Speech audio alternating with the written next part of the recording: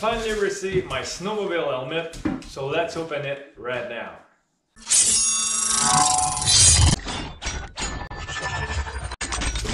There will be some background noise guys, I'm sorry about that. My dog is playing around with her ball, so I won't put her in the cage because I just back I'm just back from work and she passed all day long in the cage. So I will let her have her fun. So apologize for the noise. So now let's open the box.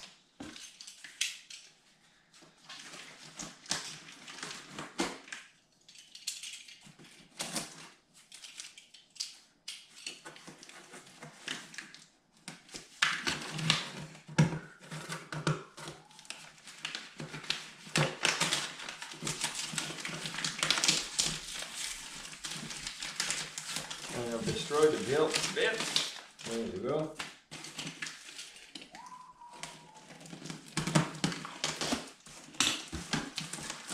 Should be another box anyway, so there's not a big danger of cutting through the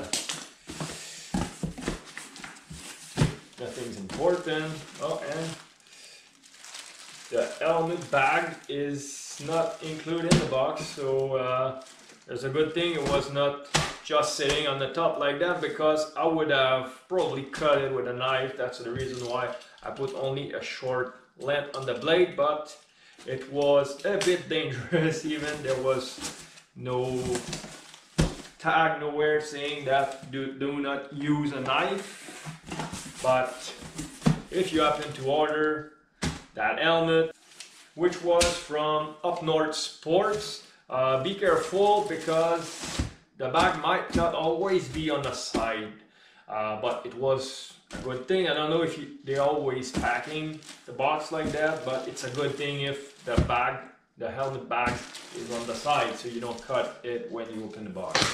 Here again, I have parts of the bill. So let's, uh, the box is already kind of open. I hope I don't receive a return or something. Let's get rid of this one.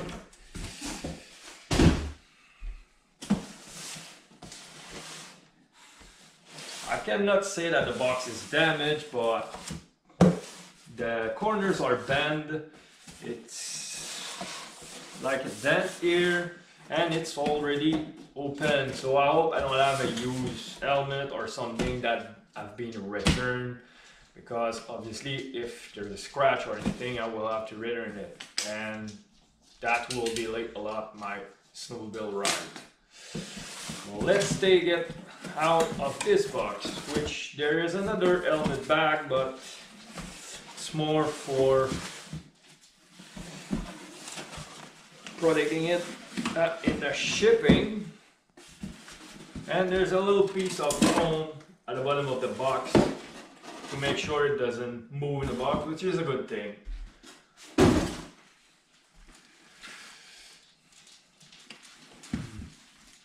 So the helmet is a Castle X EXO CX950 modular helmet.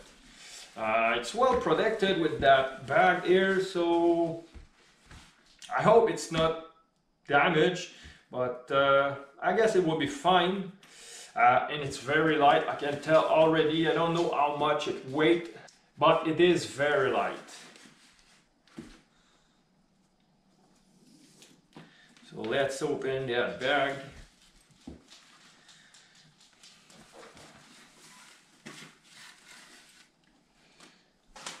And there's one thing, uh, I wanted to shield the, the double lens or the double layer shield and the electric shield as well.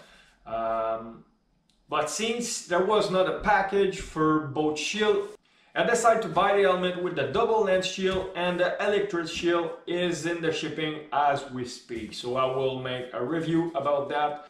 After I will have used it a couple of times so I will be able to give you a, a good review.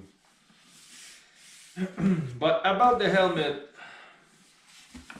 I should have all the tools to remove the, I don't know how we can call it, it's not a visor, uh, maybe a, I don't know what it's called, but I will probably remove it because it's not something I like, it's not the best look Some will say that I'm crazy to remove that because it gives the helmet a great look. Not my case. I won't obviously not throw it out because if I want to uh, reinstall it someday, I will have it. but with that thing, uh, do I have any tools with that? Probably. I got two side plates here so I can remove this plate here and install the side plate instead with which I will do because as I said I want to remove it. Uh, so I must have the tool for that as well unless it's just not a flat screwdriver but my guess is uh, I will make a closer look. Just a dull oh shit. Just a coin will do the job just fine. Uh, as you can see I hope you can see the notch here uh, but it not it must not be very tight anyway. And as you can see I bought it black matte because uh, I simply love matte colors these days. And when I will start building my Lambo I will also go for a matte color because I love it so as you can see, I will try to open it uh, so you will have a better shot or a better view.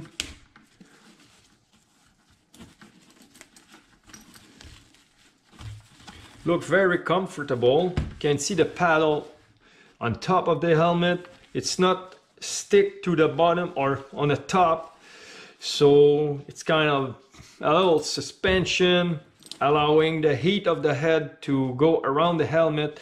As you can see, it's a large. I hope it will fit. The visor is very tight, so there's no way it will fall by itself, which is a good thing. Uh, and you can also lift the face or the entire modular front. So now I will remove that thing. I will install the side plate so we will see in a real time how much time it take to replace that thing or to remove that thing.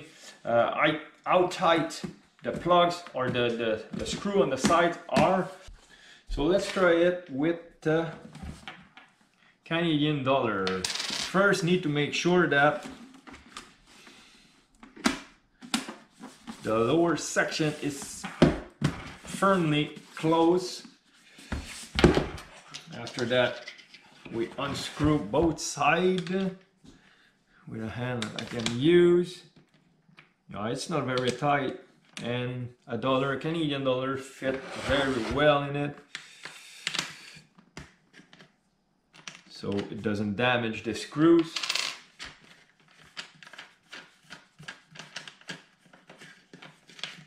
And I just saw that uh, if you look closely, there's some little plastic lock pin if I can uh, call it like that. And I have two spares if I happen to break one or to lose one. So I have one screw removed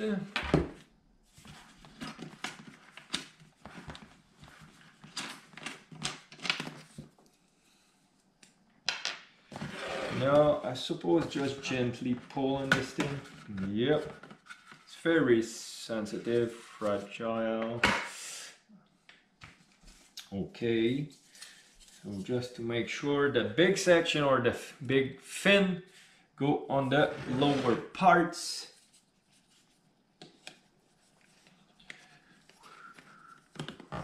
There you go. Put back the screw.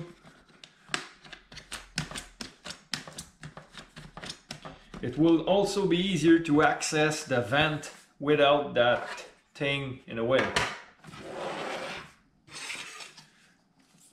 And to reinstall that, make sure that the, the gap here match the gap in the visor or the side of the visor. Which is pretty easy to install. Just matter of putting it at the right place and put back the screw. So it wasn't very tight, so I won't put it back very tight, but enough so it doesn't unscrew by itself. There we go. Is it too tight? No, still opening fine. Let's see about the yeah, open fine as well. So now it's easier to access the vent on the top here just by pushing on the back, open the vent. This helmet come with uh, integrated sunglasses or sun visors. So if I action the side button here, it drop the sun visor. You can see it a little better this way. So if I push the button on the front, it raises the visor and if you pull it back, it's putting the visor down or the sunglasses down. So with this system, at least you don't have to carry a pair of sun sunglasses risking to to lose them, to break them, or risking more fogging in your head or helmet env environment. So just by actioning that, you have sunglasses on the fly. It's very easy, very practical. And to open the vent on the front at the mouth, you just have to push it down and the vent is open air. And to close it, you just pull it up. Now I will remove the protective film on the visor because I want to try this helmet and see how comfortable it is uh, if the size fits well because even if large mean large in, in all helmets uh, sometimes you have different not different size but yeah I can say it like that a different size between helmets even if it's large helmet uh, so I will remove or I will peel off the film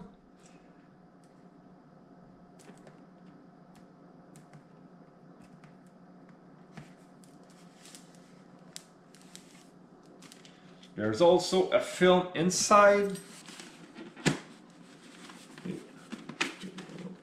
A little more. There you go. So now I have the plastic inside. There you go. So now I can see that the the visor have no scratch whatsoever on it. It's very clear and you can see a little better now than the sunglasses inside when I pull back the little button. Let's try this baby on. I will put the back here so I don't scratch the top on my counter. Should that should it should do that at the beginning. We'll start by opening the front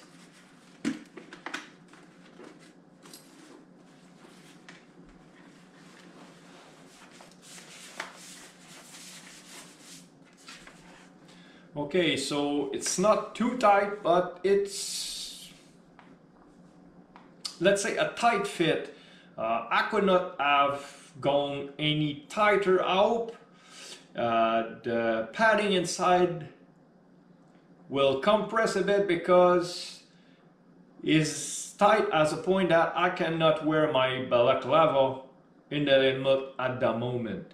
So I hope it will compress as I said so I can wear the proper stuff inside the helmet so I, I don't get cold. Because at the moment is a little tight. So let's close the mouth section.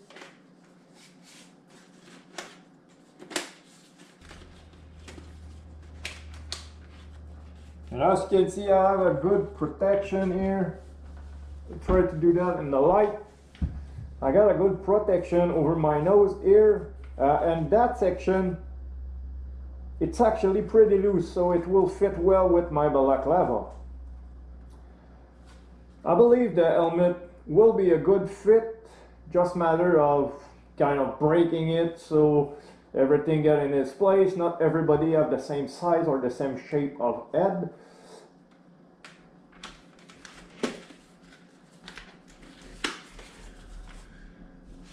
so it doesn't fit the same way to everyone but I believe after a couple of use couple of hours maybe wearing the helmet it will kind of get the shape of my head and I will have plenty of space or room to wear my balaclava in it.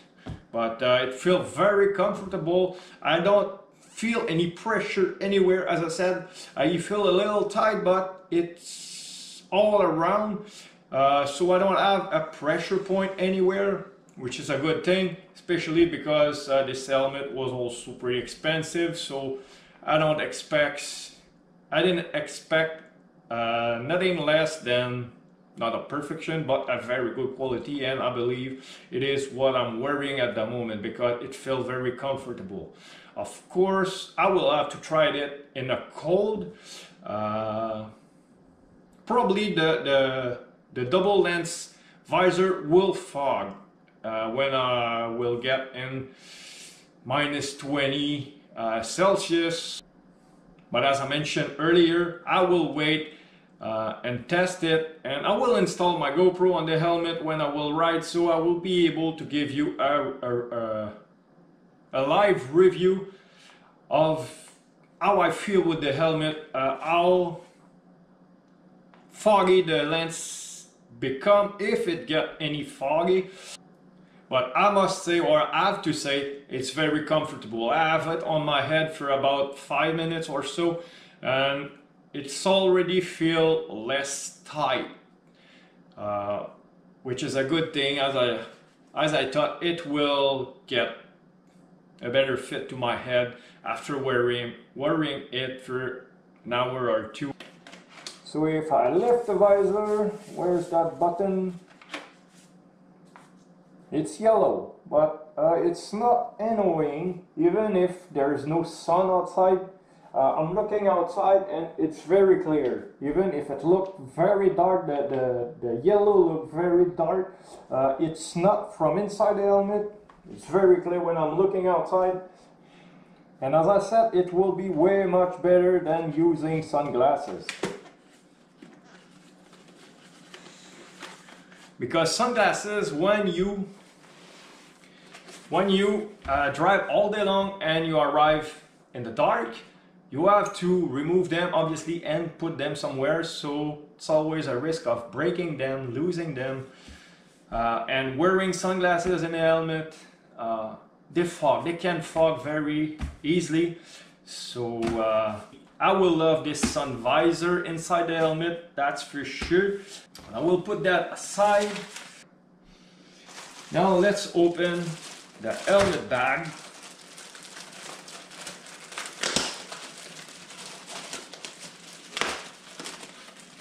It's obviously look like a good quality inside, uh, outside I mean, but I wonder uh, what the padding is inside because obviously we don't want to scratch the helmet when you restore it in the bag.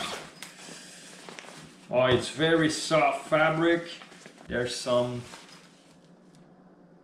fabric thing.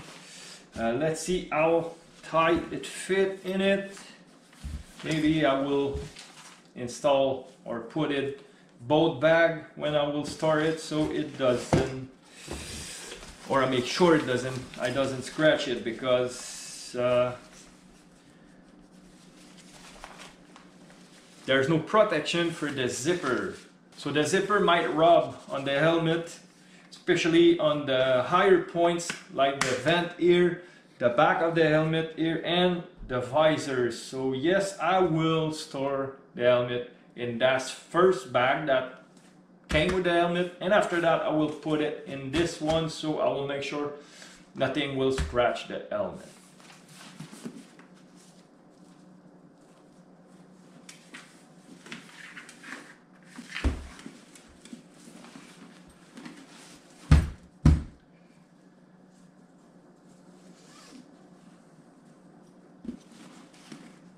much better like that.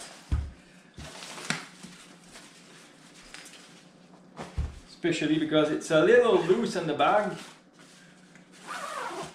and there's no fabric or loose fabric that can get cut in the zipper, which is also a great thing. But store like that, I'm sure I won't scratch the helmet and it will be fully protected. I believe that thing is also waterproof. It feels kind of waterproof. So I cannot ask you for a better bag for my helmet. So in the next video about this helmet, I will give you a good review about this double length or this double shield visor uh, to, to know if it's fogging and if it does how much how bad but also on the electric shield that is in the shipping at the moment uh, I will do that after one or two ride of snowmobiles so I will be able to tell you uh, what's the feeling with the electric shield. For this helmet does it work great? Does it work good? Or does it fog because I because I've read review on the electric shield for this helmet uh, from people saying that there might be a leak between the two lens because there were some fog between the two lens of the electric shield or the, the electric visor. So I will review all of this after one ride of two with my snowmobile so I will be able to give you an accurate review not on everything because uh, it might work great for me not so much for others but at least you will have my experience uh, how it feel how I like it or I dislike it so don't forget to subscribe to my channel and hit the notification bell so you will be notified as soon as I will post the next review about this helmet. So this is it for now. I wish everybody a great day and see you later. Bye.